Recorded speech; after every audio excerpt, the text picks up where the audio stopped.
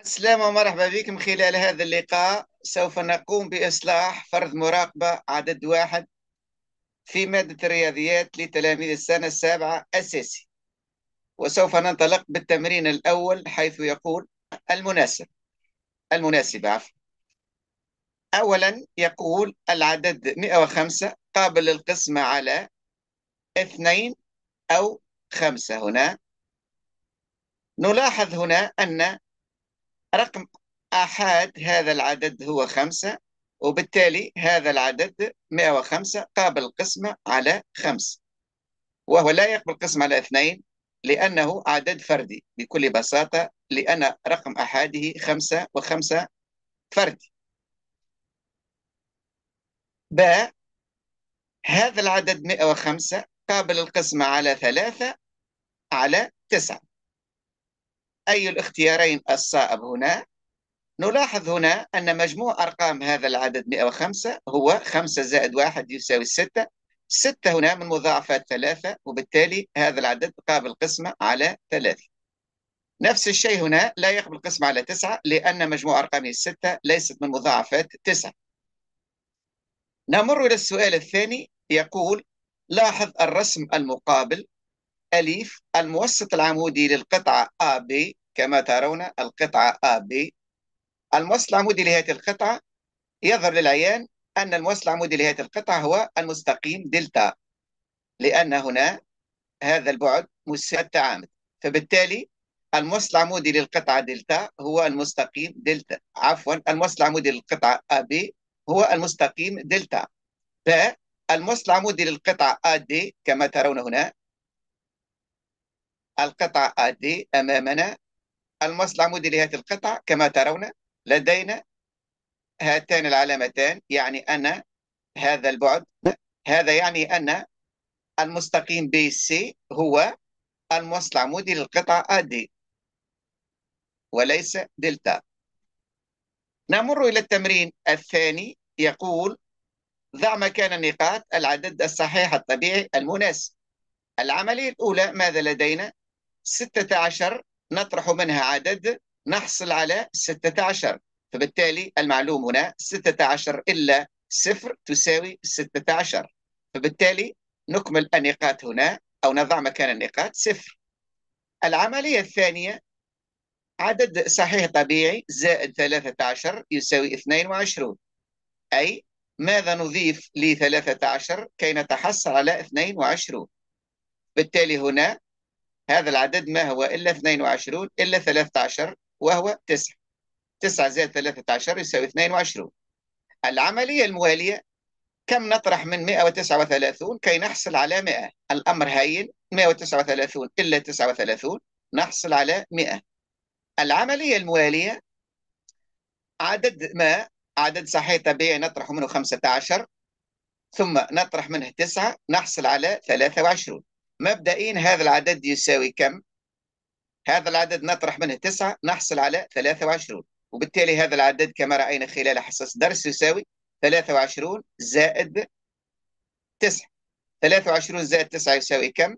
32 وبالتالي هنا إلى حد هنا لدينا هذا العدد نطرح منه 15 نحصل على 32 ما هو العدد الذي نطرح منه 15 نحصل على 32 وهو بكل بساطة 32 زائد 15 وهو 47 وبالتالي هنا 47 إلا 15 يساوي 32 32 إلا 9 يساوي 23 وبالتالي النقاط هنا نكملها ب 47 علما أن هذا العمل يكون على المسود. نمر إلى التمرين الثالث. أحسب بأيسر طريقة هناك ما رأينا خلال حصص الدرس.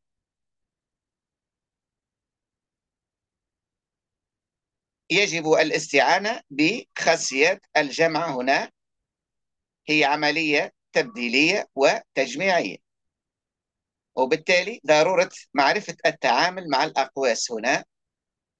هنا لدينا علامة موجبة قبل الأقواس يمكن حذف الأقواس بدون أي إشكال.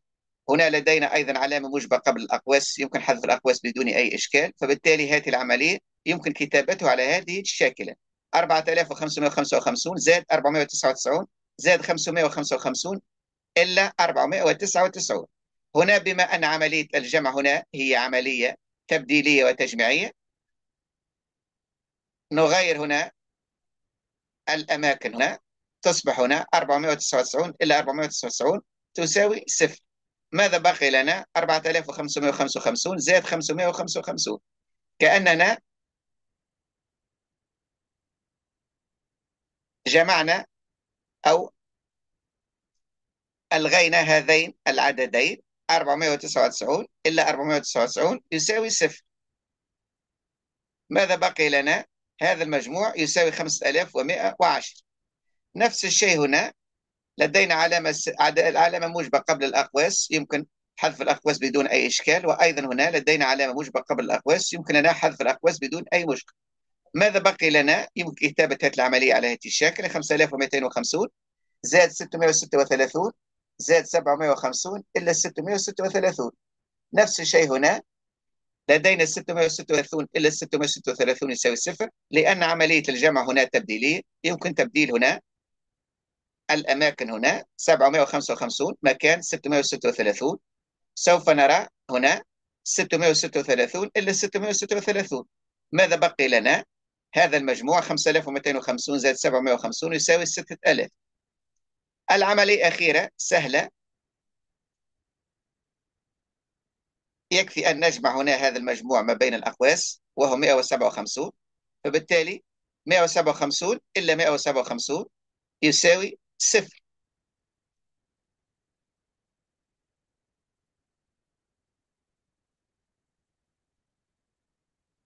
نمر إلى التمرين الرابع الهندسة.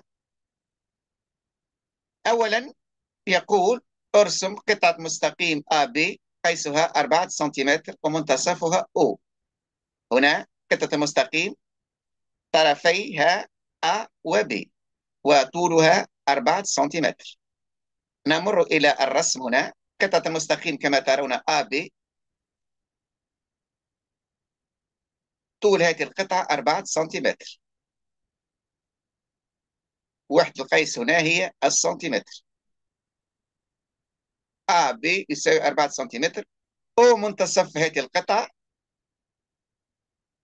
هنا 4 سنتيمتر. معلومة أن نصفها يساوي 2 سنتيمتر. فبالتالي الأمر هين هنا. فبالتالي أو منتصف القطعة هنا AB يعني AO يساوي OB يساوي 2 سنتيمتر. يمكن تعيين مباشرة النقطة O تبعد عن A 2 سنتيمتر وعن B أيضا 2 سنتيمتر. ذاك هو منتصف القطعة AB فبالتالي هنا رسم القطعة AB هين وتعيين النقطة منتصف AB أيضا سهل وهين. نمر للسؤال الموالي. يقول ابني المستقيم دلتا الموسط العمودي قطعة المستقيم AB الموصل العمودي كما تعلمون هو مجموعة النقاط المتساوية البعد عن طرفي القطعة. كيفية بناء الموصل العمودي دلتا للقطعة AB كما رأينا خلال حصص الدرس باستعمال البركاك كما ترون هنا باللون الأزرق. دلتا هو الموصل العمودي لهذه القطعة كيفية البناء؟ أضع إبرة البركار على النقطة A والقوس الدائري الأول وأحافظ على الفتحة وأضع إبرة البركار الآن على B القوس الدائري الثاني. القوسان الدائريان يتقاطعان عند هذه النقطة. وأقوم بنفس الشيء من الجهة الأخرى من القطعة أضع إبرة البركار على A القوس الدائري الأول ثم أضع إبرة البركار على النقطة B مع المحافظة على فتحة البركار والقوس الدائري الثاني. القوسان الدائريان يتقاطعان عند هذه النقطة وحينها أربط النقطتين هنا سوف أحصل على المستقيم دلتا. حتما المستقيم دلتا سوف يمر عبر O منتصف القطعة AB لأن O في حد ذاتها هي متساوية البعد عن طرفي القطعة AO يساوي 2 سنتيمتر و OB يساوي 2 سنتيمتر. فبالتالي المستقيم دلتا الموسط العمودي للقطعة AB يمر حتما أو وبالضرورة عبر النقطة O بطريقة متعامدة. هذه هي علامة التعامد هذا هو الموسط العمودي دلتا للقطعة AB وبالتالي أنهينا مع بناء دلتا العمودي للقطعة AB نمر إلى السؤال الموالي ثالثا أليف. عين النقطة C على المستقيم دلتا حيث CO يساوي 2 سنتيمتر. نعود إلى الرسم. وسوف نعين النقطة C حيث CO يساوي 2 سنتيمتر. الآن النقطة O معلومة وسوف نعين النقطة C حيث CO يساوي 2 سنتيمتر. لدينا هنا نقطة C معلومة أنها تنتمي للمستقيم دلتا وإضافة إلى ذلك CO يساوي 2 سنتيمتر. يمكن تعيين نقطة C هنا أو في الأسفل هنا. المهم النقطة C تبعد عن O 2 سنتيمتر. هذا البعد 2 سنتيمتر. ويمكن تعيينها أيضا هنا. المهم 2 سنتيمتر البعد CO 2 سنتيمتر. أنا اخترت أن أضع أو أعين نقطة C هنا. وبإمكان أي تلميذ أن يعينها أيضا في هذا المكان. أسفل النقطة O المهم النقطة C تبعد عن O 2 سنتيمتر. هذا فيما يهم البناء. بطبيعة الحال البعد معلوم الآن. باستعمال الكوس أو البركار أقيس هذا البعد 2 سنتيمتر ثم أعين النقطة C. أو مباشرة باستعمال الكوس أقيس 2 سنتيمتر وأعين النقطة C. C تنتمي إلى دلتا وتبعد عن O 2 سنتيمتر. وبالتالي أنهينا مع تعيين النقطة C على دلتا وتبعد 2 سنتيمتر عن O. السؤال الموالي قارن بين البعدين CA و CB نعود إلى الرسم ثم سوف نقرأ معا التحرير. سوف نقارن بين البعدين CA و CB البعدين هنا CA و CB قبل قليل قلنا أن النقطة C تنتمي للموصل العمودي دلتا بما أن دلتا الموسط العمودي للقطع AB هي مجموعة النقاط المتساوية البعد عن طرفي القطع يعني كل نقطة من هذا المستقيم دلتا الموسط العمودي ل AB هي متساوية البعد عن طرفي القطعة يعني عن A وعن B. يعني بما أن النقطة C تنتمي لدلتا يعني أن C متساوية البعد عن طرفي القطعة A و B. يعني CA يساوي CB فبالتالي نعود إلى التحرير الآن. لدينا CA يساوي CB بكل بساطة لأن النقطة C تنتمي للموصل العمودي دلتا. فبالتالي C متساوية البعد عن طرفي القطع أعيد قراءة التحرير. كل نقطة من دلتا الموصل العمودي للقطعة AB كل نقطة هنا هي متساوية البعد عن طرفي القطعة A و B. هذا يجب أن يكون معلوم من طرف التلاميذ. وانطلاقا من هذا المعلوم بما أن النقطة C تنتمي للموصل العمودي دلتا الموصل العمودي لهذه القطعة AB فإن C متساوية البعد عن طرفي القطعة وماذا يعني؟ CA يساوي CB وهذا ما نريده. هذه هي المقارنة. CA يساوي CB وهذا هو التعليل. التعليل يعني الدليل والبرهان. يعني التعليل والبرهنة. نمر إلى السؤال الرابع. بناء أيضا. أليف ابني المستقيم دلتا أولي الموسط العمودي لقطعة المستقيم CA. نعود إلى الرسم. سي معلومة الآن وآ معلومة. الموسط العمودي للقطعة CA الآن النقطة C معلومة والنقطة A معلومة. الموسط العمودي لهذه القطعة CA باستعمال البركار. أضع إبرة البركار على الطرف الأول للقطعة A القوس الدائري الأول ثم أحافظ على الفتحة. أضع إبرة البركار على نقطة C الطرف الثاني لهذه القطعة القوس الدائري الثاني. وأعيد نفس الشيء من الجهة الأخرى.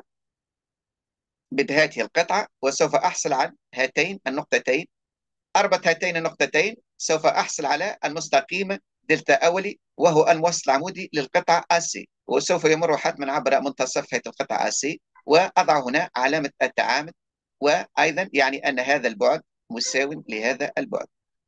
وهذا وهكذا أنهينا مع بناء دلتا أولي الموصل العمودي للقطعة AC نعود الآن إلى السؤال الوالي بعد بناء المستقيم دلتا أول الموصل العمودي للقطعة CA يقول قارن بين البعدين أو سي وأو أ. نعود إلى الرسم عندما نقارن بين البعدين OC و OA نعود إلى الرسم ونرى OC و OA قبل قليل قلنا أن البعد OC يساوي 2 سنتيمتر والبعد OA أيضا مساوي 2 سنتيمتر. لماذا؟ لأن O منتصف AB منتصف AB يعني OA يساوي OB يساوي 2 سنتيمتر. فبالتالي البعد OA يساوي 2 سنتيمتر والبعد OC يساوي 2 سنتيمتر.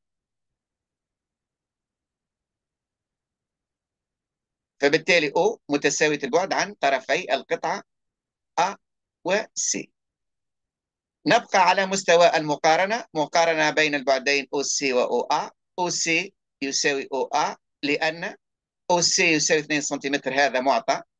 من خلال تعيين النقطة C تبعد عن O 2 سنتيمتر. ونعلم أن O منتصف القطعة AB منتصف القطعة يعني OA يساوي OB يعني 4 على 2 يساوي 2 سنتيمتر. OA يساوي OB يساوي AB على 2 يساوي 2 سنتيمتر. وبالتالي OA يساوي OB جيم السؤال الأخير استنتج أن O تنتمي للمستقيم دلتا أول. الأمر هين الآن للغاية. وجب تذكر معنى الموصل العمودي وتعريفه. لدينا البعد OC يساوي البعد OA يعني أن كما قلت منذ قليل النقطة O متساوية البعد عن طرفي هذه القطعة A و C يعني O تنتمي للموصل العمودي للقطعة AC وبما أن الموصل العمودي للقطعة AC معلوم هو دلتا أولي يعني O تنتمي لهذا الموصل العمودي دلتا أول بكل بساطة. هذه هي الفكرة الأساسية ونعود لقراءة التحرير معا. كيف سنكتب الآن؟ بما أن OA يساوي OC قبل قليل OA يساوي OC يساوي 2 سنتيمتر ماذا يعني؟ يعني أن O متساوية البعد عن طرفي القطعة AC OA يساوي OC يساوي 2 سنتيمتر يعني النقطة O متساوية البعد عن طرفي القطعة AC وبالتالي هنا بما أن مجموعة النقاط المتساوية البعد عن طرفي القطعة AC هي تمثل الموصل العمودي لهذه القطعة AC وهي دلتا أول. وبالتالي O تنتمي للموصل العمودي لهذه القطعة AC والموصل العمودي ما هو إلا دلتا أول؟ وبالتالي النقطة O تنتمي لدلتا أول. وهذا ما نريده. وهكذا أنهينا مع إصلاح هذا الفرد شكرا على المتابعة وحظ موفق وإلى اللقاء.